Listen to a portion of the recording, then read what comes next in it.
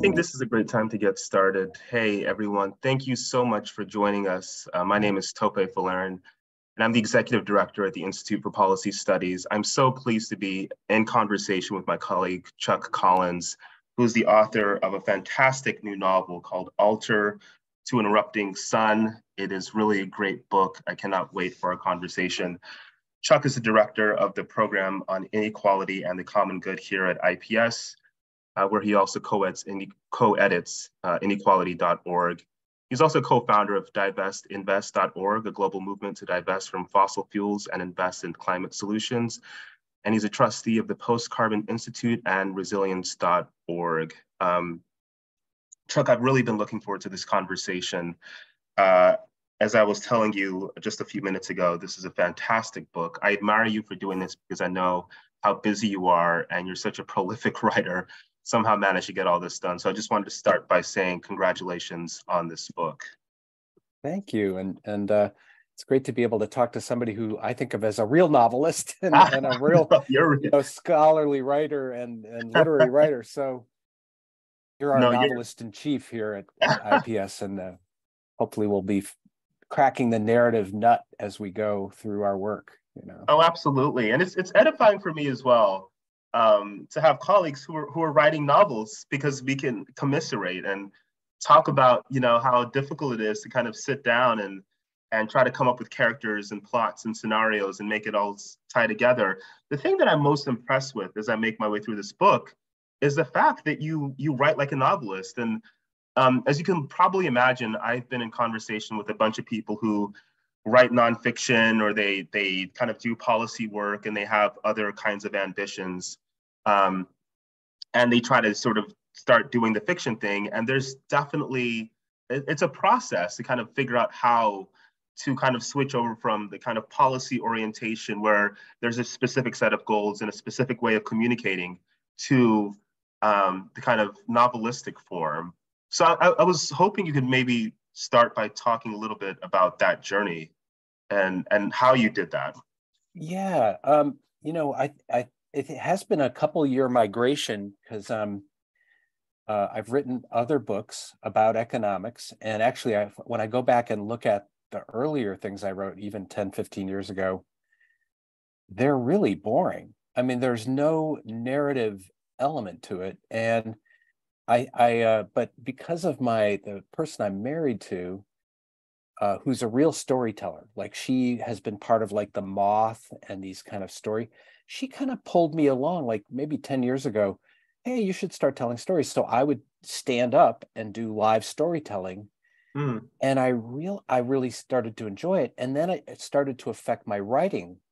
Like, well, why wouldn't I bring uh, stories and characters and little fl- narrative flourishes into nonfiction writing. And of course, yeah. there's great nonfiction narrative writing. Absolutely. Uh, and those are the books that people like to read. Actually, mm-hmm. I they're the ones I like to read.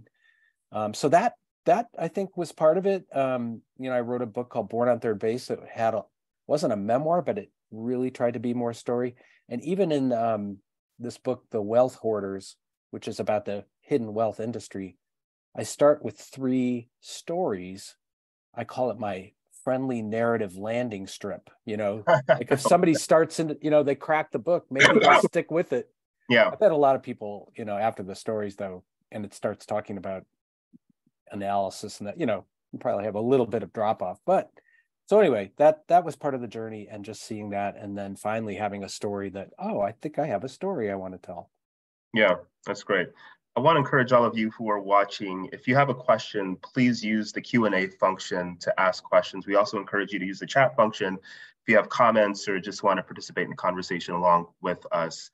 Um, Chuck, I was, when did you start writing this book? And what was the impetus for it? Um, in the winter of 2022, and you know, uh, so a year and a half ago, I I I think around the end of the year in the wintertime, I was reading some good fiction and I had had this story that was just kind of knocking on my inner door. It was a, mm. both a character, kind of a composite of a lot of people that I've met and imagined, and then this particular story as it relates to sort of climate change and climate disruption themes around violence and nonviolence. So um, I uh, I think in February, a year ago, February, started to write it and it really flowed. You know, I mean, uh, writing can be uh, a struggle, but in this case, I was just allowing myself, I wasn't attached to having it be published or anything. I was just like, I'm just going to write this story. I'm going to kind of get it out there, out of my system. And it kind of came out, and I had a draft by uh, this time last year. Wow. And uh, and then we have a, a terrific uh, local publishing house in Vermont called the Greenwriter Press. So again, I thought, well, I could get an agent, and that's going to be two years. You know, yeah. I just sent it over there, and they're like, "This is interesting. This is great. We'll we'll we'll do it." And uh, and I was all through the whole process. I've been like a guy in a hurry. You know, like yeah. partly because of the themes around climate and climate resilience so I even uh, a, really good editor read it at one point for the press and said, you know, if you you should slow this down and take take a year. And I was like, no, I, I first of all, I have my day job at the Institute for Policy Studies. I can't yeah. spend a lot of time on this, and uh, you know, I got to get back in my lane over there where I where I really belong. But I really want to do this. So um, so it it wasn't a, a multi-year process as it as it probably should have been. Uh, but uh, given the topic and who I am, it it it is what it is. So yeah, no, I think it lands beautifully, and I and I again really admire your your narrative skill um, and the way you deployed in this book. And it prompts me to ask another question, which and you kind of mentioned this before. You said that you were reading a lot of really good fiction, and that kind of inspired you to kind of start taking your own journey. Could you speak a little bit more about the kinds of writers, the, the writers you were reading, the kinds of books you were reading that inspired you to start writing your own uh, novel?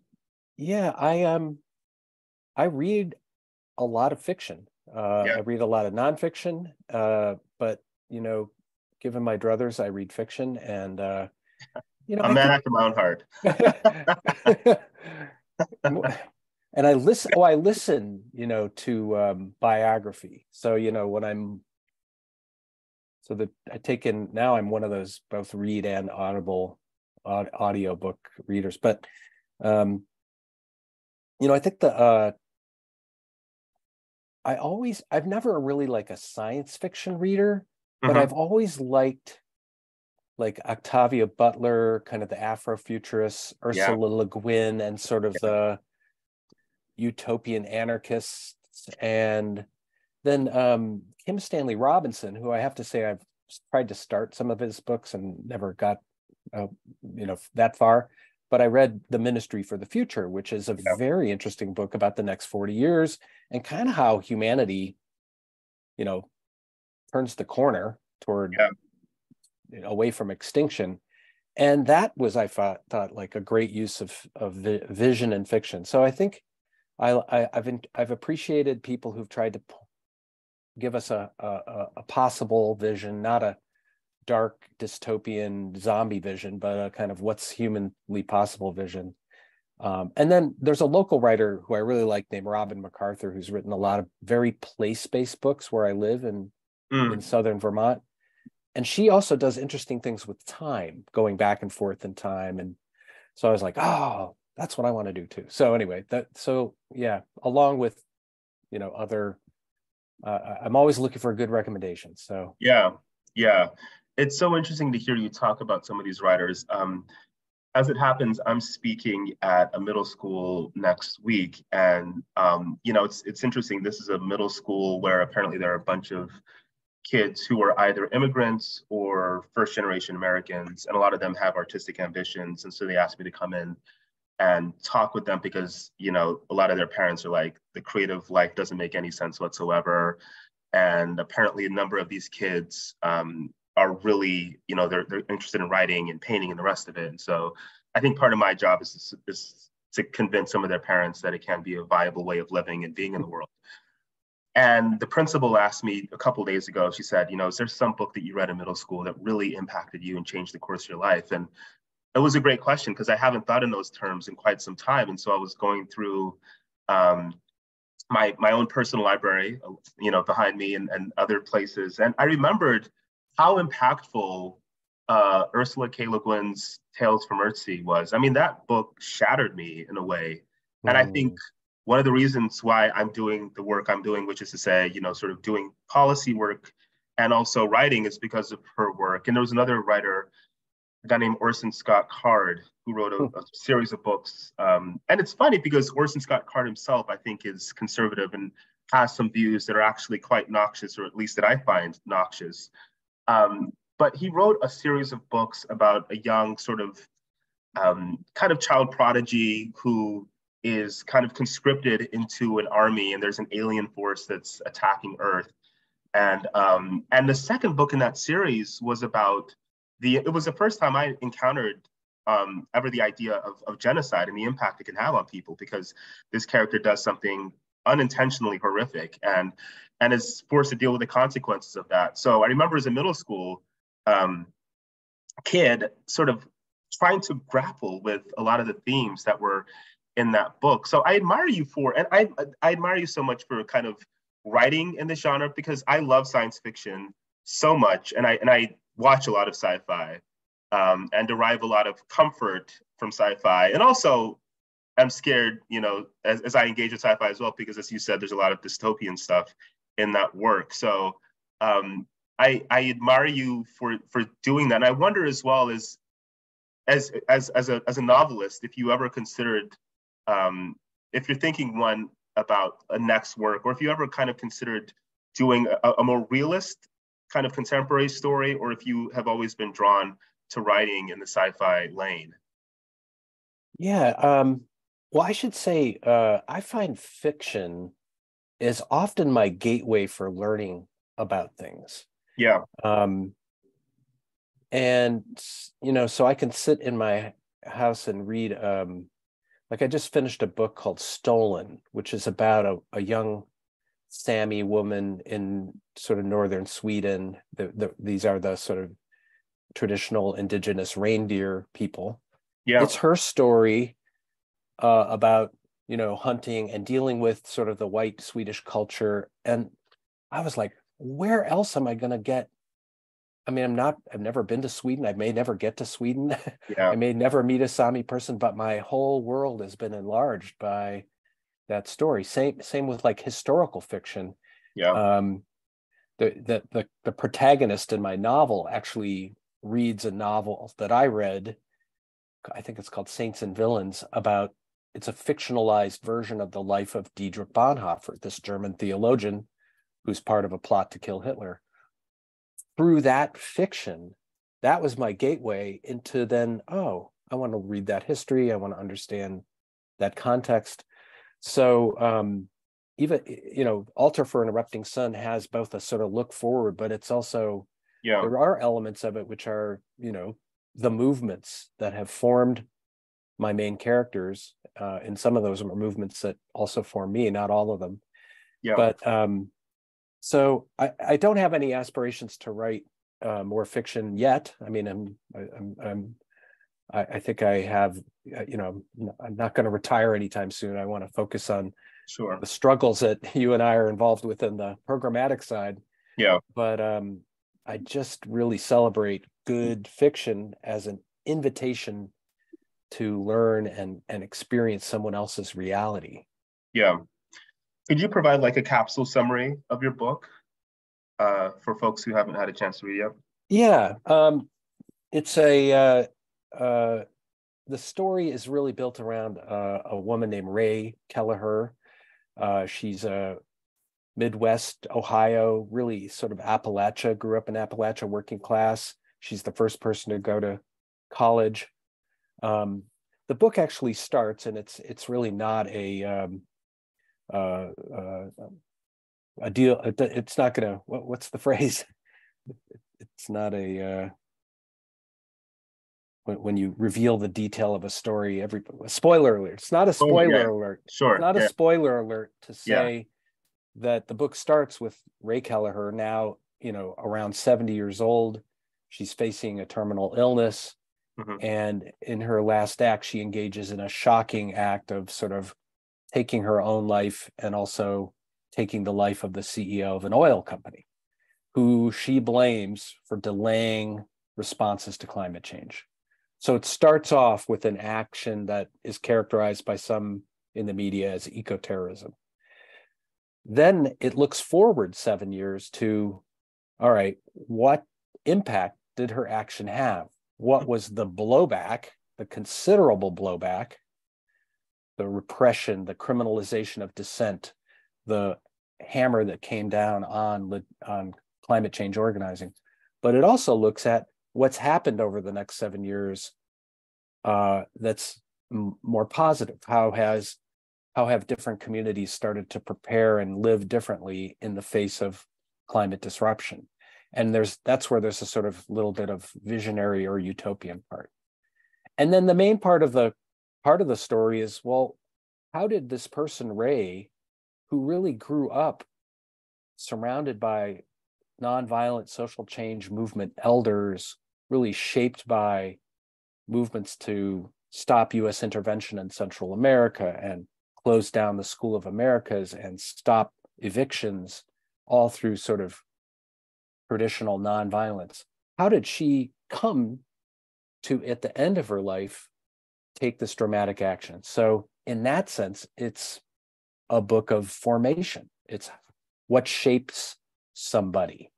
So those are kind of the questions uh, that that um, you know what you know here. And I was wanted to explore that the issues of violence and nonviolence and the kind of moment we're in and the frustration I hear people say all the time of we we're not going to be able to fix this. Our political system is incapable of sort of preventing the worst scenarios of the future at this point. So anyway, that that that's a bit of the summary. It's uh, how how are each of us shaped, and how in this case is this person shaped? I wanted to ask you a little bit because I I've been thinking a lot about how you write about violence and Ray's own journey with violence, and you know this moment, as you just said, um, where we have activists who are doing a number of things to um, talk about how pressing this issue is, to kind of uh, encourage people to, to pay attention to the environmental crisis. And you know, there are activists, for example, who are um, throwing paint on on works of art. There are some who are, for you know, many years, uh, who have been engaged in acts of eco-terrorism as well. Um, I wanted to ask you about that tipping point. Um, you know, obviously, the movements that we work with, the traditions that we emerge from, emphasize the importance of nonviolence. But there have been any number. I mean, American history is studded with moments when people have just said enough, and they have gone in a more violent direction. Um, I wonder, one, how Ray arrives at that tipping point, and two, um, if you think our society is nearing that tipping point because of some of the pressing issues we're facing right now.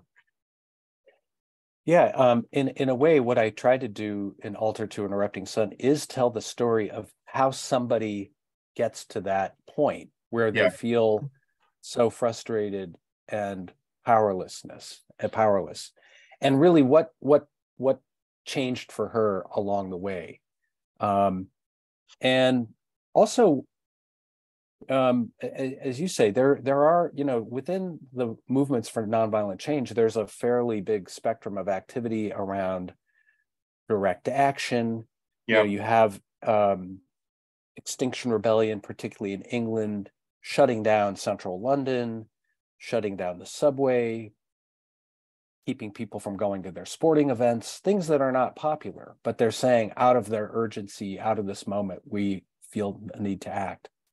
There's also a, tra- a tradition of self-sacrifice. And you think of the, the Vietnamese monks during the Vietnam War who immolated themselves. Yeah. There are people in the US political tradition who have also immolated themselves. And I tell that those story I weave those stories in because that's another expression of both the sense of powerlessness, but also the sense of wanting to make a powerful witness, all the way to, you know, people, uh, destruction of property. Um, so, you know, and Alex's sort of adopted daughter at the end of the book says, look, what Ray did was wrong. But what Ray would say to you is, what bold action are you called to in response to this assault on our one and only planet Earth.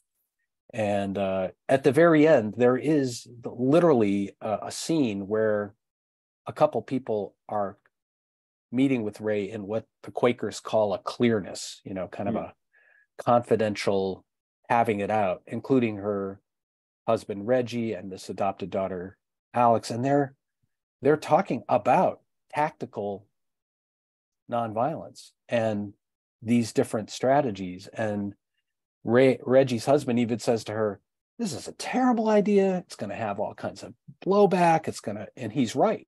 He's right. In the end, he's right. But uh, why don't you do a Norman Morrison? Norman Morrison actually, in protest of the Vietnam War, self-immolated in front of the Pentagon outside Robert McNamara, the Secretary of Defense's office. Powerful witness, unthinkable for many people. Yeah. Um, but it had an impact. Um, so that that I wanted to kind of in fiction lift up, dramatize, and even give character to some of these historic people uh, who struggled with what what's the what action should I take in in response to this moment? Yeah. Do you think? I mean, so in terms of where we are as a society now, and again, some of the pressing challenges we're facing, uh, do you think we're at a point where we need some of that? And, and how should that look? I, I know it's a big question, but I just wanted you to muse for a moment on that. Yeah, I think I think we're really close to a moment where uh, we we have to dramatically get more militant and more uh, uh, powerful. And and I think, and I try to show this through Ray's consciousness because, you know, I think like a lot of people, she starts off thinking, well, I, I'm responsible for climate change. I live in the global north. I'm up, you know, I live a relatively privileged life. You know, I shoot i drove to the corner store instead of walking you know i'm part of, i'm part of the problem and also she spends a lot of time in central america that forms her and so she understands the global inequity and the reality that those of us in the global north are burning way more carbon and methane than many people in other parts of the world so we have a disproportionate responsibility and she sort of still believes that but she comes to realize that the fossil fuel industry uh, and what she would say is a few dozen corporations and their financial enablers. She calls them the carbon barons or the oligarchs. Oligarchs, yeah. That there's a very small group of people that have extreme, enormous amount of power and have used their power to fund climate denial, to fund doubt, to block alternatives, and to run out the clock. And uh, you know and and and so she's saying i don't really know what else i can do given that our political system is incapable of responding and i think we're close to that moment but i do say think if more of us got involved with direct action and movements that were really sort of upping the ante um, and I, w- I should say i i anticipate in the next couple of years given if business as usual just keeps continuing, we will see more militant action in yeah. this space. You know, destruction of property. Uh, there's a very popular film out now called How to Blow Up a Pipeline, based on a nonfiction book of that name, depicting people taking that action. So uh, I was I want to explore in fiction where where I think we probably are going.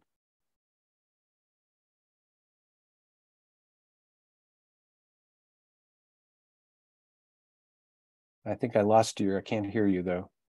So sorry about oh, that. Oh, yeah. Um, yeah. Um, so as I was reading a book, and I, this is connected in certain ways, there were a number of times when I said to myself, I think this happened, or I think this is a person I've read about before, I've encountered in my own kind of research about various things. Mm. It seemed to me as I progressed that you made an effort to kind of incorporate real um, activists and real um, situations. And you've alluded to some of that already. But I was wondering if you could talk about that as a narrative strategy of bringing in, again, the example that came to mind in some ways, Forrest Gump, the, you know, that sort of um, character and movie from the 90s that was really popular. And he encounters, he happens to find himself in some of the most important moments of sort of the late uh, 20th century, mid to late 20th century. And I had that feeling as I read your book as well. Was that kind of an inspiration, or were you thinking in those terms as you wrote this book? Um, yes. Um, and actually, uh, Tim DeChristopher, who's somebody I admire a great deal, uh, said it's a your main character is a cross between Forrest Gump and Dietrich Bonhoeffer. I thought that's perfect because, yeah, yeah, uh, like yeah. the Forrest Gump character or like Zelig, you know, they they just happen to be Zelig, yeah. bystanders or sort of connected to some interesting undercurrents. Yeah, um, yeah. There there are real people in the story, and I got their permission to oh. use their stories. I uh, particularly the main people there. One is actually a guy named Brian Wilson, who uh, is not the Beach Boy singer, but uh, has that name, uh, Brian Wilson. He was a Vietnam vet. Uh, I actually knew him. He lived in Greenfield, Massachusetts, and he was the first person ever to tell me about Norman Morrison. He had his portrait on his wall. I said, "Who's this? Who's this?" He says, "That's Norman Morrison. He was this Quaker," and he told me the story, the true story that when he went off to Vietnam, he knew about who Norman Morrison was, and he thought Norman Morrison is, you know, he, that was a really uh, a crazy thing to do. What he did, he didn't respect Norman Morrison's action.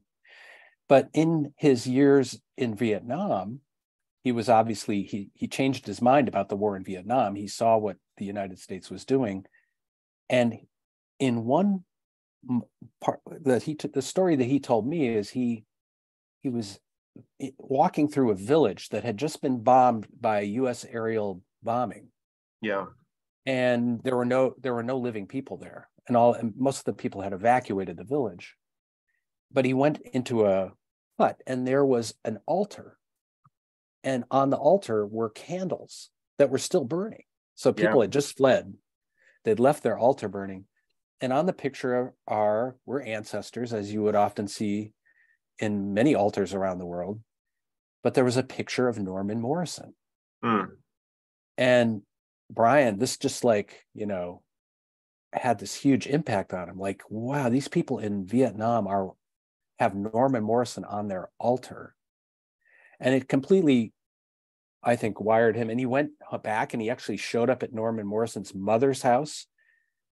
Anyway, I, I thought, well, that's an amazing story. Can I fictionalize that story and bring it into this fictional uh, vessel, um, partly to kind of invite people to say, well, was that a true story? And was that person real? And did that really happen? And it turns out Brian Wilson was trying to block arms shipments to uh, El Salvador that were being used to fund to arm the Contras against Nicaragua.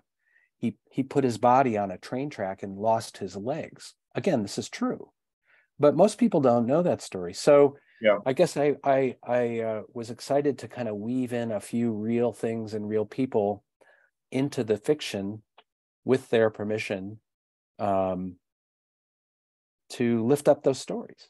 Yeah. Um, yeah. I was hoping if we could we, if we could hear some of the book in your own voice. Would you mind reading a section or two of your book just so we can get a sense of Yeah.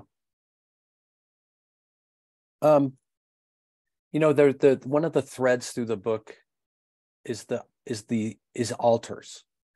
Um, I mentioned the altar in Vietnam. Ray also travels in Central America, and those of you who have, you know, know the Celtic Samhain tradition or Day of the Dead, you know, there are kind of allegorical uh, rituals around the world to honor ancestors and to remember. And Latin America, people say presente. You know, you mentioned Oscar Romero, people say presente. You know, as long as we remember somebody, they are still with us. So the theme of altars is very, very uh, a thread through through the story. Um, but there's one point where for Ray, it really um, it changes her life, um, and so she, just to set the scene, she's a in a refugee camp. She's working in a refugee camp in El Salvador. It's during the Civil War in the mid 80s. And um, there's a woman in this refugee camp who is a midwife. And uh, she's delivered, you know, they used to say she's delivered half the babies in San Vicente province in El Salvador. You know, she's a, a, a sage and experienced midwife. Even the uh, the European doctors come into this refugee camp, and when they have a breech birth or something complicated, they call on Chepa, the the local midwife. Um, so, but uh, let me just read a little bit about uh, Ray's experience of of of an altar. Uh, one day, Chepa invites Ray to visit her family to see her altar. Amidst the chaos and buff, bustle of life in the refugee camp, Chepa has created a sacred space on a shelf in the corner of a single room shared by six. On her altar are several burning candles, devotional statues, and dozens of photographs. Ray recognizes Archbishop Oscar Romero. With few flowers anywhere in the camp, she has placed freshly fallen tree blossoms and leaves around her altar. Their fragrances blend with the smell of ash and other herbs. She points to a voter identification card of a young man. It's her, the only photo she has. This is my son Ramon, she says in Spanish. He was assassinated by the army. Ray says, Oh God, I'm so sorry, squinting at the postage stamp photo. She says, and this is my husband, Raul, Chepa says, pointing to a blurry photo of a man holding a machete. He was also killed in the conflict, she tells Ray. With her voice steady and tears clouding her eyes, she introduces her Ray to her universe of loved ones, many whom have died and suffered in the Civil War. Mi altar es mi fuente, she says, letting the sentence hang in the air. My altar is my source. Ray understands her meaning. This altar is where Chepa can grieve, but it is also the source of her spirit to live and to accompany mothers bringing children into the world. She has endured massive loss, her loved ones, her home, yet Ray feels how Chepa pulls toward life. Um, and then after her experience working in El Salvador, she return she's she uh, she reflects back on this. She says, during Ray's two months in El Salvador, she begins to feel more viscerally each decision in her life, especially around consumption of things, food, and energy, how she benefits from this international system of advantage. She begins a journal entry with a quote from Monsignor Oscar Romero, quote, aspire to have more uh, I'm sorry, aspire not to have more, but to be more. And Ray writes in her journal each decision I make requires a certain mindfulness. I don't feel burdened by, by it. It is like a spiritual practice where I try and often fail each day. What I do know is I have to do more and consume less. What will I do in the US? where, as Brian Willson says, consumption is the national religion. Most days, Ray is filled with gratitude for her life that she has back in New England. She has a job to return to and abundant food and loved ones at home. Ray gently handles her blue US passport, thinking about all the privilege, privilege and power that goes with it.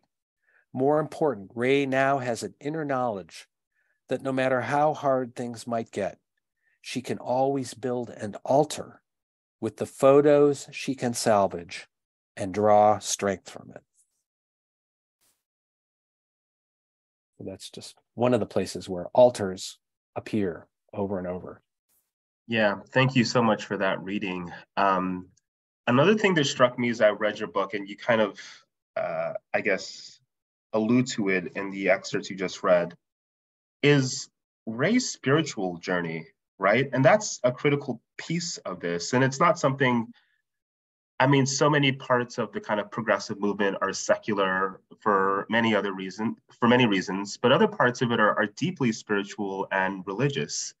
Um, and especially as we confront the possibility of, you know, sort of crisis, um, of, you know, I, I don't want to get further than that, but you know, the fact that that we're mm. facing all manner of challenges. A lot of people are digging into their own sense of spirituality or or that is guiding them. And obviously, some of the major movements that we so admire and seek to emulate, like the civil rights movement, for example, have this spiritual core, a spiritual center. So I wanted to talk, I was hoping you could talk first about like Ray's spiritual journey and how important that is for that character. Yeah, you know, I um I uh I actually there's a one of the sections of the book is called formation. Yeah. And in uh having grown up in a traditional Christian kind of uh denomination, the concept of Christian formation is really important. It's sort of like it, it's sort of like how do you try to model your life after the teachings of Jesus or G, as yeah. Jesus as a role model? And um, and then the notion of discipleship. What does it mean to be faithful to that? And you know, I know that many of the people probably reading this book are kind of not connected to institutional religion, and that and that might even be a turnoff. But in in Ray's case, you know, she was raised Roman Catholic. She was shaped by that, but she's sort of gone on to kind of draw all kinds of forces into her formation. Uh, like her discussion of altars, the altar becomes a source of her spiritual sustenance. Uh, there's, you know, ants, the notion of ancestors and people who have passed to the other side are still with us. That becomes part of her spirituality. Um, she is formed by movements, by social movements and ideas and lovers and people that she meets along the way. So, formation in a broader sense is what I want to show, uh, including social movements, which often are not considered, you know, part of how we form ourselves, but they certainly form most of, I think, my me and the colleagues that I work with at the Institute for Policy Studies. So, um, and then I think later discipleship. Well, what does it mean to put your values into action? And at the very end, um, at her at a sort of many years later kind of a memorial service her her husband ray reggie says you know her book ray believed that this life that we're living here in this case they live sort of in a community kind of an eco village where they're trying to live simply and live in harmony with the earth she says this is what ray would say discipleship looks like today it is recognizing our oneness with nature. It's queer liberation. It's recognizing, you know, we all are connected. It's um, a preferential option for the poor is a Christian principle. It is welcoming the stranger. There are climate refugees coming into her community and people being displaced. So, in his words, Ray is practicing her discipleship is modeled by how they how they live and and uh, you know, while she respects the institutional religious traditions, she is trying to live them more radically to their essence than the wider culture. Yeah. Um, I've been thinking a lot about that dimension of your book and of your work because I come to this work from a spiritual perspective. I grew up in church my dad is the most religious person I know. Um, we spent a lot of time thinking about and talking about the life of Jesus Christ, um, and as as a kind of figure of of social justice, right? As somebody who talked consistently about the poor, about the least of these, you know, about Sermon on the Mount was something that my, you know, my my dad talked about all the time. Hmm.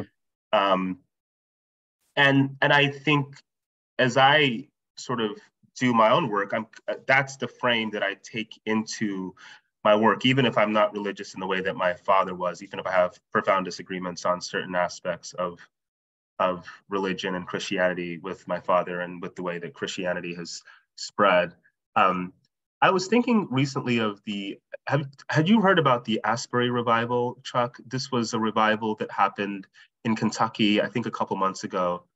And it was like a revival in the style of revivals that happened in this country in the early mm. 20th century and beyond actually when yeah. somebody you know something uh, something would happen at some corner of the country and people would hear about it and then people from all over the country would, would gather so this happened recently um, in kentucky and the thing I was struck by was that a number of people who were at this revival are progressive. They're concerned about the environment. They're concerned about poverty and, and inequality. They're concerned about the direction our world is going in.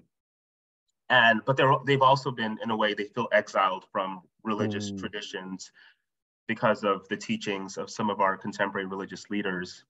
Um, all of which is to say, Chuck, that I sensed in your work a kind of um, I want to I want to frame this as carefully as possible. A kind of sort of sense that we need in a way that there needs to be a spiritual dimension to this work, right? That it doesn't make sense to just think about facts and figures. It doesn't make sense to just think about sort of policy and policy implications, but that we're all human beings with a spiritual core, right? And that in, in many ways kind of drives the work. And it doesn't have to be within a kind of institutional framework, but that, that sort of part of the job of, of doing this work and being effective at this work is acknowledging our spiritual core. Do I have that right, or am I completely off? No, ab- absolutely. I mean, I, I and I, I I share that both your formative experience and sort of the wrestling of how do we bring this, you know, into our our social movements and uh, um, you know, I think there, there's that moment where uh, that I read that Ray is thinking about, okay, I I need to do these things. I need to be a better disciple. I need to consume less, but I'm not. The, the way she sort of says is, I'm not going to, I'm not going to succeed entirely. I'm a, I'm in formation. I'm I'm I'm I'm unfolding, and um, it's part of my spiritual practice to get up every day and try to live respecting other humans, respecting the boundaries of the earth and and my relationship that I'm I'm part of nature. I'm I'm integrated. That sort of spiritual tradition of interconnectedness. I'm going to try to practice that every day. And and Ray tries to do that. And then which makes it all the more curious or troubling this ultimate act that she takes. Like what would it, you know, if somebody who's rooted in that spirituality in the end also adopts this notion that this is evil. Yeah. And I need to, she's influenced in, by Dietrich Bonhoeffer, who was a pacifist and a deeply religious person who, who in the end said, uh, I should attempt to, to, God is calling me to murder a tyrant. You know, that was his, his understanding.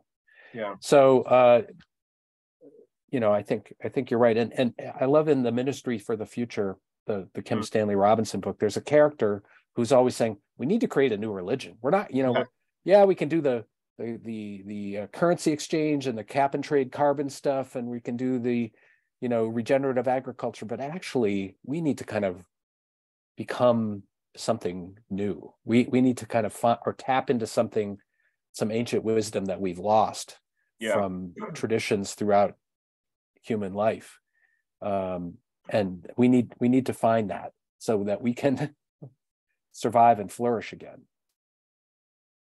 yeah i'm also thinking about um, contact the film that was inspired by carl sagan's work and the character of palmer joss who's like a kind of spiritual figure and he's you know i think in many ways the kind of prototype for a new kind of spiritual figure which is i mean he's not he um, is somebody who speaks to our spiritual desires and our yearnings that don't go away even if like again the institutions that we've carried with us in the 21st centuries are inadequate in so many ways but uh, but they they also capture a kind of feeling and desire and hope that we need right? I mean so much of the work we do is premised on the idea that we have hope for the future. That is an intrinsically spiritual idea right? It's not something that's grounded in again facts and figures. It's and it's what movements are about. Movements are like here's a future that we would like to inhabit. It's going to be incredibly difficult to get there. What gets us over this difficult moment? Faith and hope. Faith again is a spiritual it's a religious kind of uh, concept you know? Belief in something that doesn't exist yet. Mm. um, i wanted to pivot to a few questions we have a number of questions from folks who are watching our conversation now. So I'll start with a question from Ruth White. She says, Ruth says, Uh, I was so struck by the number of Bonhoeffer quotes and the dialogue about nonviolence versus when violence is justified. Have you seen Ted Glick's review that compares your book to Ministry for the Future? How do you see yourself in this reflection on nonviolence? Um, yes, I, um, you know, as I sort of alluded to, I, I, I think I have been, but my character Ray is very much shaped by Bonhoeffer, and I did see Ted's and appreciated Ted's review, and uh, um, but um, yeah, this I think of this as a a book about wrestling with violence and nonviolence, or with what Ray, and of course, Ray's at the end of her life. She she discovers she's going to die. She has cancer, and it's affecting her well-being. It's, a, it's her. She sort of feels like her body's been under assault by chemical companies and you know corporations that put profits before community health and she kind of in a very bonhoeffer way begins to articulate has an articulation of evil which is not something that you know we may throw that word around but for her it was not a a light uh because she believes in in the flourishing of all life and, and supporting life i mean the book starts with her you know standing out on the road helping salamanders cross the road during spawning season because she hates the idea that these salamanders are going to and frogs are going to get run over. Her respect for life is so deep. So then what, you know, so for her to wrestle with taking a life uh, is completely outside of her understanding of what what she's called to do. But it was through Bonhoeffer that she wrestled with that and understood her discipleship is going to look different than other people's. Um, so yeah. yeah. if you if you like Dietrich Bonhoeffer, there's a uh, there's a lot of little interesting twists. For instance, the book actually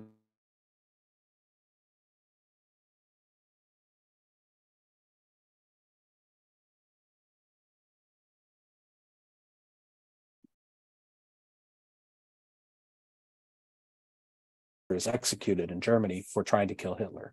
So there's a lot of those little twists. Thank you for that, Chuck. Um, the next question is from Jane Banner. Why did you want the main character of this book to be female? Did you find this difficult? Yeah, thank you. Thank you for that. Um,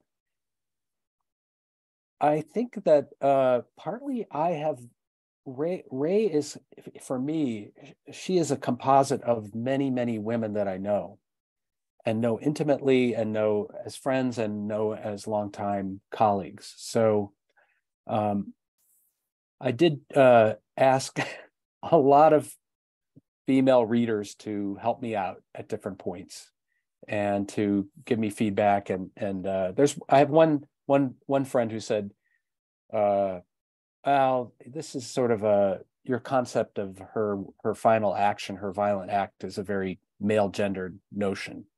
And I said, well, let me introduce you to the 10 women who are who are have been who have been the ones who have been talking to me about taking dramatic action. There so um, but yeah, I think, you know, it's obviously challenging when you're writing outside your lived experience, but um, I felt like I felt comfortable enough in my lived experience with uh, the women in my life to to try to depict uh, a lead female character.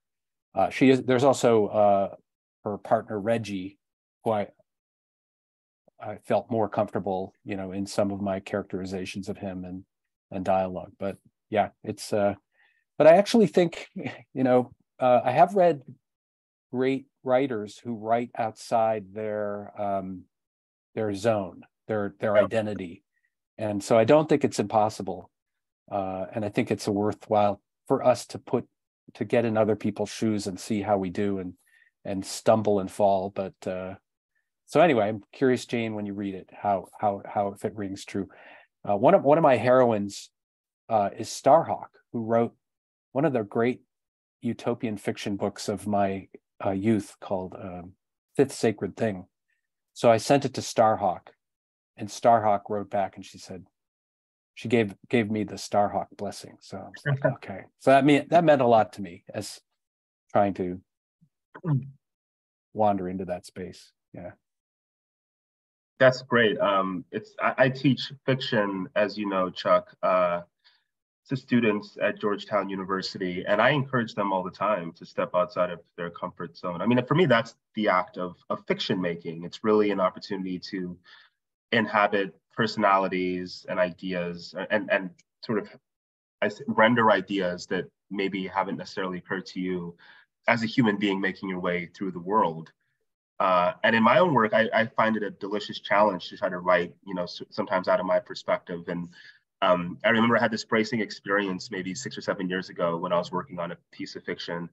Um, and I was the only uh, sort of man in this uh, workshop.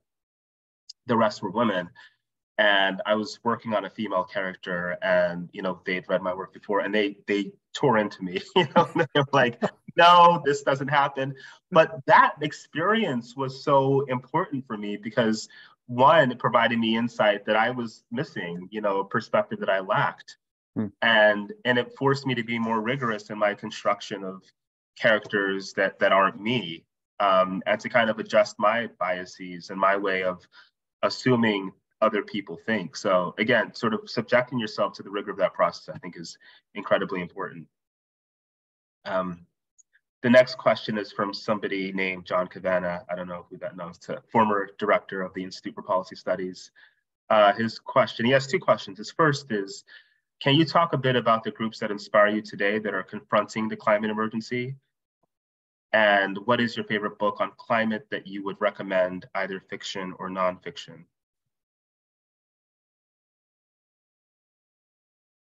Well, I do think the the the groups that are trying to figure out sort of the red, the, you know, what does action look like? What's the appropriate response? So within the climate space, uh, you know, um, this Climate Justice Alliance that our colleague Basav is very, very much part of and helping uh, inform others. Um, the Extinction Rebellion is trying to figure out what what does it look like in terms of more bold and militant tactics. I really appreciate the work of the Post Carbon Institute because they've been consistently sort of helping think about how do we build community resilience, um, which is another part of the story. I think is, you know, what is what does it look like? What's and that's the future fiction part. What does what does it look like for a community to come together and prepare themselves? Um, and actually, um, I on on the website for the book, which is chuckcollinswrites.com, there's a link to taking action. There's a link to um, a whole bunch of groups. Um, my my a friend and and author uh, buddy Andrew Boyd has written a terrific book called "I Want a Better Catastrophe," hmm. and together he, we created a little lexicon of the different types of action that people may be called to. He, he uh, Andrew calls it the the the movement enneagram. You know, what's your are you interested in wisdom traditions? Are you interested in militant action? Are you interested in sort of grief work? You know, here's the like the whole menu depending on your gifts and temperament. Um, so check out that, you know, Chuck Collins writes.com. Also bettercatastrophe.org, you know, has some of the some of those movements that we uh, are are pointing people to. Um, as well as on that website, actually, I have a, information on the real historical figures and background in the book, so that you know if people are interested. You know, I want to know about who is Brian Willson and who are these uh, older yeah. black black war war tax resistors, Wally and Juanita Nelson. Who are they? Uh, there's sort of uh, links and signposts and uh, bibliographical information there. So um, but yeah, I think I think the um, I love I, I I I can't get enough of any any sort of fiction that shows people being using their agency. Yeah. Um, social movements make history, and that's what we believe at IPS. Yeah. Let's look at the social movements that have shaped history up to this moment, and what think through what are the social movements that will help us fix the future. Um, that that uh, is is exciting, and I and I I don't see enough. I'm curious if you see this, Tope. If you have a favorite fiction that sort of depicts people trying to do meaningful work. I was thinking about John, John Steinbeck in Dubious Battle, which is really about a, a labor organizer and the interior life of somebody who's trying to, who's a lifelong changer, making change. Uh, there's there's not enough stories that I'm aware of, so I love people's ideas and recommendations for for fiction in that space. But that was part of my intention in this book was to tell the yeah. story of movements yeah, it's a really good question. One that I've thought a lot of about. I mean, because there's this kind of ongoing conversation in the fiction world about whether, I mean, at this moment of crisis, whether artists are supposed to be, you know, sort of continuing to tell stories that the muse whispers into their ears, you know, which might be about whatever, or if there is an obligation to kind of write to the moment. Um, I was a few days ago watching a documentary about James Baldwin, and he, you know, sort of struggled with this during his life as well. I mean, he left United States because of all the, the sort of racism he was dealing with. He, like many writers, went off to France, had a difficult time there, but also experienced a kind of artistic awakening. Wrote his second novel, Giovanni's Room, while he was there, about um, two men engaged in a relationship. It's the kind of book that he probably wouldn't have been able to write in the States um, comes back because of the civil rights movement and is sort of doing what he can to kind of talk about, um, you know, sort of rights for people and and the importance of of uh, moving beyond, you know, this sort of really difficult uh, sort of history with racism in this country. And all, all that's while that's sort of inhibiting his work, he goes to Turkey and begins to write fiction again. And so I think it's really difficult, you know, sometimes because I think from my vantage point, I might I might be wrong about this. I think the best fiction is the kind of idea that wakes you up in the middle of the night and you're like, okay, I need to write mm. that. And sometimes, sometimes that is about you know um, movements or a crisis that we might be confronting, but oftentimes it's not. Um, and so that, that's a really important question: Is this a moment when artists ought to be collectively turning our attention towards these moments and consistently? Because a lot of the work that does come from an explicitly kind of like either um, you know sort of instructive place sometimes isn't as compelling as art right? So it's a really difficult question to confront.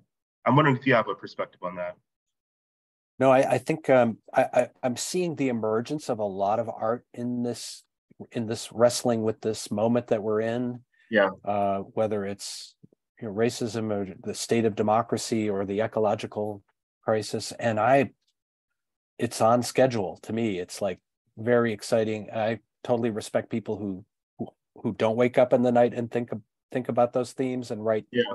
about other issues of our interior lives and yeah. family and friendship and connect you know other challenges um, but i am a sponge for anybody who's trying to sort of make sense of the the impossible news of yeah. the ecological moment we're in yeah. um, and offerings. And even in the questions i see and chat i see people suggesting books and films which i uh, I, I i look forward to following up on the ones i don't know about.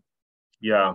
Yeah. Um it's something i've struggled with in my own work whether now is the moment to begin to think right explicitly about our the challenges we're facing and uh, the kinds of things that I've experienced in my own life that speak to enduring issues around race and inequality and the rest of it, or whether it's a kind of right, you know, again, what does the moment require and, and, and what should I be producing as an artist at this point? I think it's a question that a lot of artists are grappling with. And um, I'm not sure there's one answer, but yeah, I think as you know the world gets more complicated, that I, I suspect more of us will begin to write in the direction of trying to provide hope or show, conversely, show the negative things that might happen if we don't change course. Um, I'm trying my best. There's so many questions, which is a great sign for you, Chuck. People are are excited about the work and about some of the stuff you've been saying. I want to move to a question from Justin Smith. Justin said, "Hey Chuck, I wanted to ask if the if the movie First Reformed, which has themes of uh, weighing the costs and benefits of violent action, was on your mind at all when drafting the book? I only learned about and watched First Reformed after I'd written the book, which is which is probably good. Uh, you know, whenever you're writing, and it, people will give you tell you, "Oh, have you seen this? Have you done that?" Sometimes you want to kind of kind of do your own work and then read that. But um, the reality is, I you know, like for instance, this film, "How to Blow Up a Pipeline," just came out. It is a a really good dramatic film with really deep backstories of the eight individuals who are part of it. I, I recommend it as a dramatic story as well as a sort of reflection on the moment we're in. Um, so yeah, I, I I loved the first Reformed. I thought it was really uh, inspire interesting, you know, in that and and and in a way less didactic. I, I don't think of my book as being prescriptive or didactic, but it was yep. even more, I think, on a deep, you know, worked on a deeper level than than what I was able to do. But um so yeah, that's been on my to watch list for a very long time. So this is a reminder that I need to watch it as soon as possible. I've heard great things about that movie, and I love movies in general. Uh, so I'll watch that as soon as possible. Um, Ruth White, another question I believe, uh, says, I am reading the undertow scenes from a slow civil war by Jeff Charlotte. Sharlet, and I'm struck by his depiction of Trumpites as filled with a similar despair, anger, distrust that the system, in quotes, will support them hopelessness that politics can ever make things right and say, F it, and turn to conspiracy theories and find meaning and even joy in being angry and opposing all that many of us consider normative. So they rebel by being anti.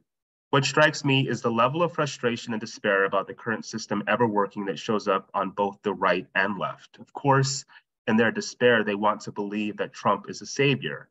This is similar, in my mind, to blowing things up. What a what a thoughtful, interesting comment. Um,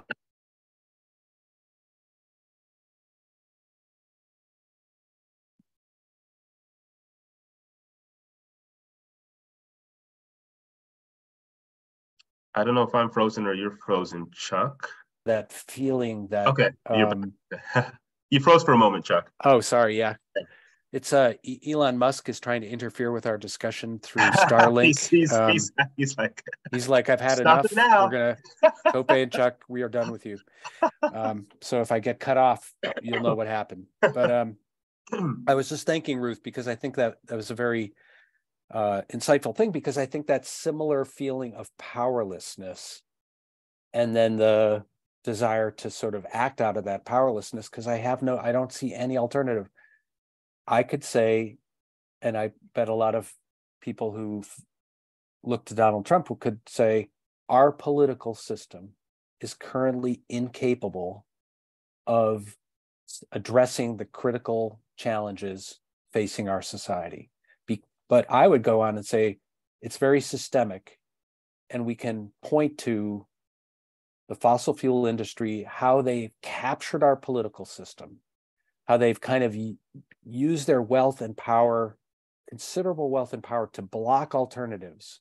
So, you know, even if you, you know, and it, even if you wanted to live a less carbon intensive lifestyle, it would be very, very hard because for four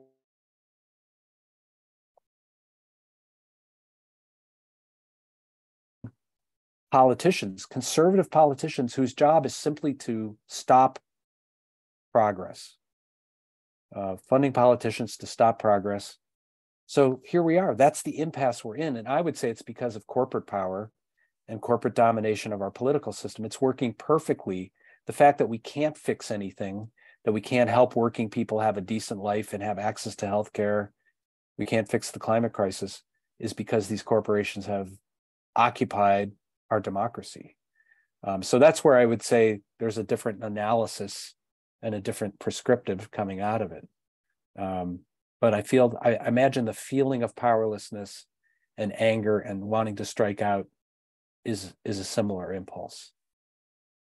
Yeah, I thought it was a really insightful. It, it is a really insightful comment as well. Um, and I I need to read the book, um, but I hadn't thought of it in precisely those terms before. That um, you know, the, this kind of desire to follow Trump is analogous to a desire to just blow stuff up and you know and people have said it in certain ways but i hadn't thought about it quite like that before so i think it's a reminder that you know part of our work chuck is to do as good a job as we can in reaching out to folks and, and showing um, both the constraints of the current system and why those constraints are in place and you know possibilities for renewal as well. I think that's a major responsibility for us. Um, nate smith has a question. Nate says chuck it's nate.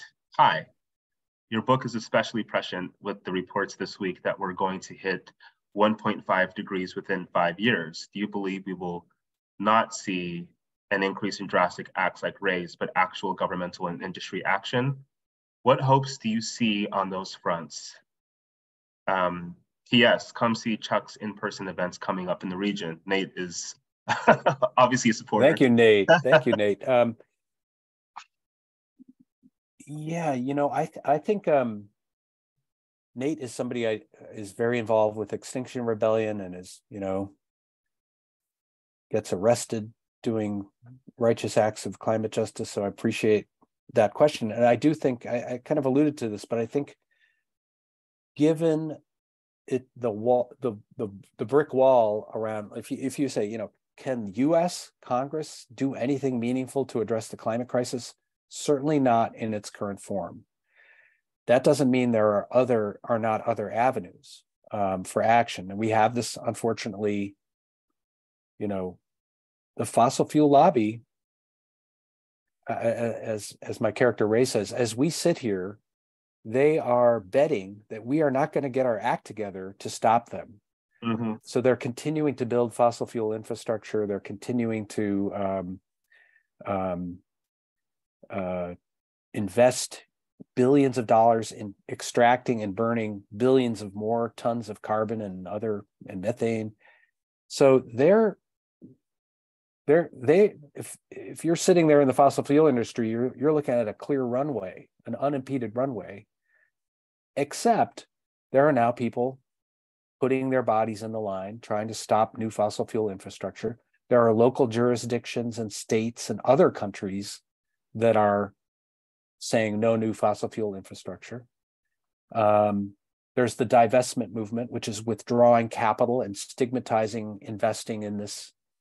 Um, so I think I think we're just going to we have to have kind of a a stepping up of all kinds of tactics in relation to the climate crisis and the the the intersecting crisis democracy yeah. economic inequality. They're all this sort of the same system drivers. So, you know, I think uh, I think we will see, uh, and we want to encourage people to ask themselves, what does bold action look like? In in um, in my future fiction, one of the things that actually shifts after Ray's action is a number, a group called a group of grandmothers calling themselves the good ancestors emulate themselves in the lobby of ExxonMobil all of a sudden, and they issue a powerful statement around this witness. And it does shift focus to people start asking, why would they do this? And what was the role of the fossil fuel industry? And a divinity school convenes a, a, a seminar called Is This a Bonhoeffer Moment in the Climate Crisis?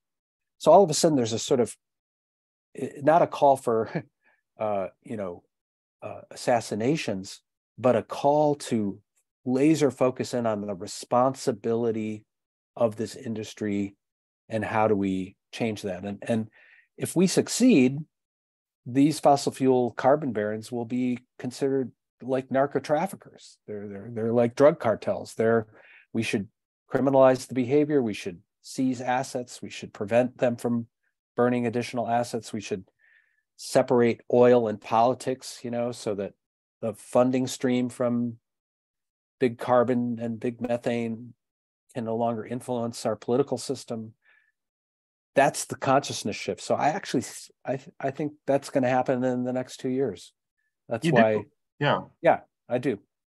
I think that's that's there's there's business as usual status quo, but as I try to depict in my novel, over the next seven years, we we we we begin to make the turn. Yeah. Can I ask why you you have that hope? Well, the alternative isn't so great. Yeah, yeah. Um, but I actually see the seeds of those movements all all around us, um, and and including the sort of place based community resilience work. You know, people. Uh, I live in a part of the country where there's a whole regenerative agriculture movement that looks not only about how do you create a local regional food system, but how do you draw down carbon emissions. Um, recognition of the science, recognition of, you know, the work that Basav and others do on on transit, transit equity. Like they're all so my my vision is just bringing to scale the thing the things that I already see in process, led by uh, people all over this world. Yeah. Can I ask you what your hope for this book in the world is? What is your hope for this book? What do you want it to do? Well, I'm I'm just thrilled with this conversation. This is, you know, all you can really hope for with a book. You can hope people read it, which mm-hmm. fewer and fewer people read books, but uh, we'll have the audiobook is being recorded this week. Oh. So for people who are not book people, they can listen to it, uh, hopefully in a in a week or two. Um, but the hope is to have a discussion you know yeah. that it that it sparks something that sparks revulsion you know i think it's a provo i've tried to be provocative in a way that will get people to say well that's that's an awful idea so then my invitation is well what's what's your idea to respond at scale to the crisis that we're facing um, there are other threads in the book in addition to the sort of themes around violence and nonviolence for instance i try to uh, foreshadow a very different culture around death and dying where people start to celebrate they, that we demedicalize dying. We do what Stephen Jenkins talks about, Jenkinson talks about dying wise.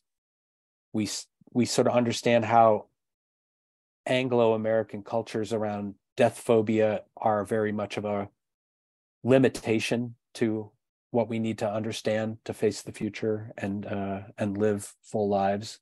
So I also try to depict people trying to create a different culture around death and conscious dying and even having what uh, one character in the book calls living shivas celebrations of life while somebody's still with us but they're at the end and maybe they're going to choose to go out with assisted uh, with an assisted death a good death and but before they do that they want to have a celebration. So there's there's also some depiction of a new culture around death and dying and around building you know meaningful community resilience. Um, a lot of science fiction books have a lot of cool technological gizmos yeah. and uh, ai and all this stuff that we are spending a lot of time thinking about. But because it's my book there's hardly a cell phone in it yeah there's no techno future savior the technology is what we already have which is how to how to live in harmony with the earth and with one another and steward and play our appropriate role as gardeners and tenders and grow the food we need and live in harmony with one another. So, uh, and that's an honor to, I, I live with four people in their 20s who are totally analog. Like if I were to text them right now, I wouldn't hear from them for days, even though they're they're standing over 100 yards from me. They're they're my inspiration, and they yeah. they're they've rejected certain aspects of the sort of hyper technicalization and and social media and all that stuff. They're like that's that's not how we're going to live. So that's another thing that i depict in this book. Uh, uh, uh, imagine a, a, a, novel without any cell phones. Yeah it's heartening especially as i, I have two small kids here and and am thinking constantly about how to um, and they're already feeling the pressure to kind of and it's funny my six year old in particular she asked me a couple days ago uh, when can i have a phone i was like uh, no um, but it's everywhere. It's ubiquitous. She sees us, you know, us being her mother and me on phones constantly for work, for socializing, for the rest of it. And so um, we're kind of creating a kind of, you know, do as we say, not as we do scenario with her, which we're very cognizant of. But um, we know as well that that she's not ready, no, nor is any child ready to kind of be ushered into this like fantastically strange and chaotic world of life on the internet and social media and the rest of it. I'm glad you brought up the piece in your book, uh, uh, the kind of conversation about death and dying. Um, and I wanted to ask you, like, it seems to me that you're advancing a really intriguing worldview in this book, a book that is, you know, sort of, again, we talked about the spirituality piece of it as one component of it. The other part of it, of course, being an awareness of this um, crisis situation that we are in and the fact that we need to do something, we need to change in all kinds of ways, in a radical way, in order to confront this challenge. And then, of course, there's the kind of what I would describe as a more mature understanding of and and con- and sort of a, a, more a more mature way of thinking about death in a way. Um, are these and, and the death piece in particular? How is that related to some of the stuff that we've talked about? Another way of, I guess, asking this question is um, is our kind of really strange and odd and even adversarial relationship with death in some ways connected to our inability to kind of take action on some of the pressing challenges that we've described before. Is there any connection between those two things? I, I think you said it maybe better than I characterized it. I think I think you know Ray Kelleher, my character, would say our our kind of the the cultural norms in this their her subculture at least are keeping them from being able to think think through you know thinking through a good death thinking through what dying and living well means thinking about our kind of interconnection to nature and what does it mean to to die and what happens after we die all those are things that keep us from facing the future our sort of death phobia you know the the the tremendous denial of what we're going through is partly of our our death phobia and denial yeah. Mm-hmm. So yeah, she would say, uh, and and actually one of my favorite quotes in the book, uh, Omar Torrijos says, you know, uh, the, the, you know he he's the president of Panama and he's he's taking Graham Greene around to these different villages and he says you can tell how whether the village takes care of each other by whether they take care of the cemetery, mm. meaning that yeah. how people honor the ancestors tells us a lot about how they live today. Yeah. Um, so yeah, there's a we we have a lot to learn from lot wisdom traditions around that that are out there that that are there to be learned from. Um, that uh, will help us in this process of facing the future. Yeah, yeah, well said.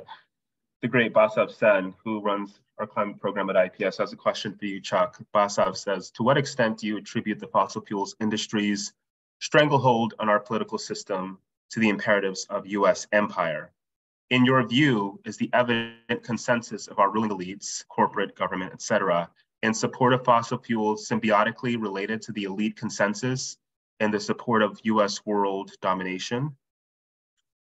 Well, uh, you know, this is the beauty of working with the at the Institute for Policy Studies, where we we we we pull on one thread and we see the sort of systemic interconnections yeah. Uh, so in a way, uh, by way of self-criticism, the, the, the sort of narrow focus on a couple dozen fossil fuel companies and their role in pushing a particular agenda sort of sort of lets off the hook all the other uh, the other Fortune 500, if you will, or the other entangled uh, uh, powerful entities that dominate the military industrial complex that also have captured our political system uh, that have also captured, um, you know, the, the, the systems of domination that that come through our political system. Um, one thing that uh, I like in my book, uh, there's a chapter about the Federal Energy Regulatory Commission, FERC, you know, which is this uh, regulatory agency that oversees pipelines. Most people have never heard of FERC. No, most people have never heard of the the captured governance agencies that have limited our options and have their way with our elected political system figures. So uh, part of part of my little micro witness was to tell a story that also involved them dealing with this agency and what Ray describes as the authoritarian fist of US energy policy, which she personally experiences being thrown out of a meeting, you know, physically thrown out of a meeting. So, um, so anyway, thank, thanks, thanks to Basav and the work of the Climate Justice Alliance, which he's one of our connections to and leaders with, of looking at the whole web of systems uh, that we and to have that understanding is so important as we diagnose the problems and and prescribe action. Yeah yeah. Thank you for that. John havana has another question uh, he says you write about several vital social movements that shaped you and ray. Anti-nuclear anti-vietnam war central america slow food etc which of these movements do you think activists of today should read more about to help give inspiration to the movements of today? You know, I think I think we we can learn from both from movements that take that long haul perspective and then what does victory look like along the way?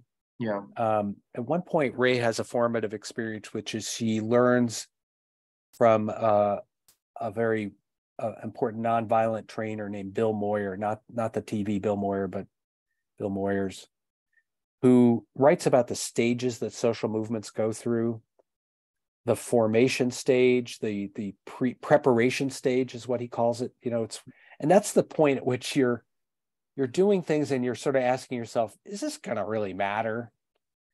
And then something happens. There's a trigger event or tripping a tipping point. Yeah. And then there's an acceleration and a sort of sense. And you know you can look at almost all the social movements of the last century and sort of nothing's linear. It's probably very you know things go through stages or cycles but to understand sometimes the importance of preparation you know yeah. and at the institute for policy studies we're always trying to seed the ideas that are not sort of that are like two steps forward for into the future and once something gets adopted and embraced we kind of keep moving forward moving on you know and and so I think the role of um, ideas into action, of seeding, uh, organizing, and education work before people are in the streets. Everybody thinks movements are people in the streets, something happening, but there's all this work that goes into getting to that moment, and there's all this work that goes into after it, to consolidating those gains and institutionalizing them. And you know, we need to. So I would say almost, you know, the history of the civil rights movement uh, I found the anti-nuclear power movement interesting because there were people fighting, you know, kind of tilting at windmills, and the uh, nobody was listening to them. And then, boom, there was an accident, and all of a sudden, the fact that that movement was in place made a huge difference. Yeah. So sometimes we're putting yeah putting things in place for the moment when that we can't necessarily anticipate. We do know that they're going to be continuing ecological crises, uh, weirding weather and disruptions and floods and fights, fires, and you know the climate crisis as it gets more acute, more people are going to be. It's going to be harder to deny anthropogenic climate change, and people are going to ask, "What can we do?" and who is responsible? And I think seeding that understanding that how we got to this place is is absolutely key uh, and the sort of history of colonialism and the patterns that got us to this moment. So um, there's no one single movement. I think you know again, where, wherever you're drawn, whatever yeah. wherever your own liberation draws you, is there's probably histories of movements that can help inform what you're what what we need to do. I love your point about uh, the kind of anti-nuclear movement and the fact that there was a kind of infrastructure in place, and then the tragedy occurs. And then there are people who have done the organizing work and who are ready to kind of go out and say, here's what we have to do. There are people who have done the intellectual work that provide the kind of intellectual underpinning for, you know, this kind of new direction. Um, and it's a reminder that, you know, you do that work even when, you know, again, it's I, am returning in a way to the, the concept of, of faith and preparation, um, even when there is no, you know, sort of funding or sort of consensus that this is something that's necessary, you, do the work anyway because you know what where the trends are leading. You know where our world will likely end up, and you say we're doing this work. And when the world, as it were, is ready to kind of engage in the conversation, we have tools at hand to help us kind of navigate this new uh, space. And I think it's a really important point. Um, we're running low on time. We have about five minutes left. So I'll ask you another question that has occurred to me during the course of our conversation, which is, you might be surprised to hear this, Chuck, but a number of people, uh, you know, approach me, they email me, they talk to me, and they say, hey, you know, they kind of whisper, they always whisper, you know, like, hey, I do this thing, but I'm interested in writing a novel, and you know, do you have any tips or ideas? And so you've done that work. I wonder if you have any kind of tips for people out there who are thinking they have an idea or they're struggling with something. You actually have sat down and written this this great book. What's your advice for people who want to take the leap and do what you've done? I think it is useful to write without being attached to the idea that it'll be published. I mean, I think that's a yeah. challenge because sometimes you're like, well, why am I doing this? No one.